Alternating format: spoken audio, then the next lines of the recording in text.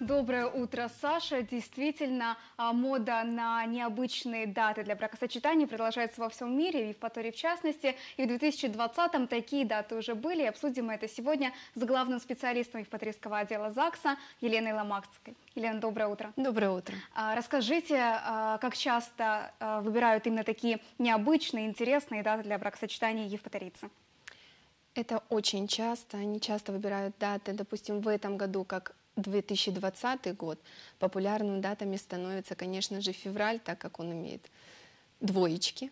Э, На, на сегодняшний день, доп- 22 февраля, подано 10 заявлений на брак. А Насколько это много для февраля? Сколько в среднем за день регистрируется браков? Ну, февраль не является популярным месяцем среди молодоженов. Больше является, это, конечно, конец лета, начало осени, но больше, чем в прошлом году. А расскажите, сколько браков уже зарегистрировано в Евпатории с, 2000, с начала 2020 года? На сегодняшний день зарегистрировано 70 браков. Это чуть побольше, чем в прошлом году. Э, Еще была необычная дата, это 2 февраля. А Сколько браков было зарегистрировано тогда и как много желающих было? Ну, 2 февраля в этом году выпало на воскресенье.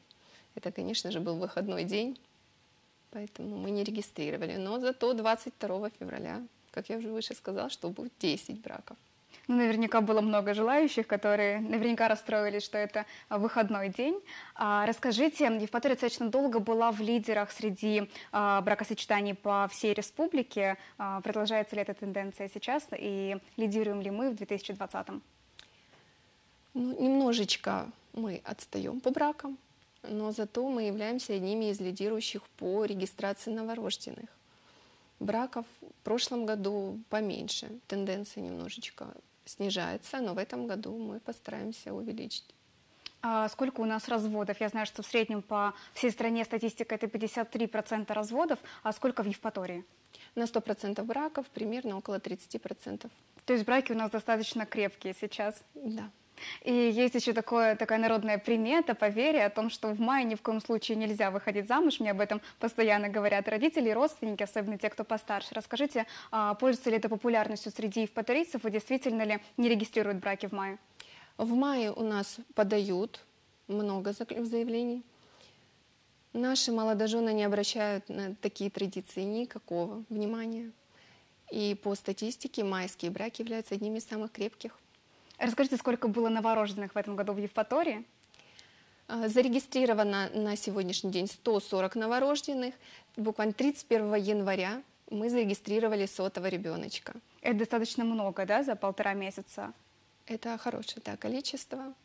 И достаточно долго было, было очень популярно называть детей необычными какими-то заморскими именами. Расскажите, продолжается ли эта мода сейчас в Евпатории и какие самые необычные имена уже были зарегистрированы в 2020 году? Мода продолжается на старославянские имена. Это Далимир, Любодара, Милада, Светогор. В этом году у нас стали редкими именами это Аполлон, Альяна, Гирей, Хава. Спасибо вам большое, Елена. Я надеюсь, что а, продолжим мы в том же духе, а, и у нас будем снова в лидерах и по количеству рождаемости, и, конечно, по количеству заключения крепких браков и как можно меньше нам разводов.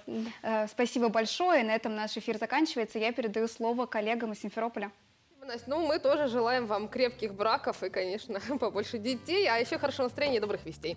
Ну и напоминаем, что с нами на связи была Анастасия Крапивина и, э, и Евпатория непосредственно.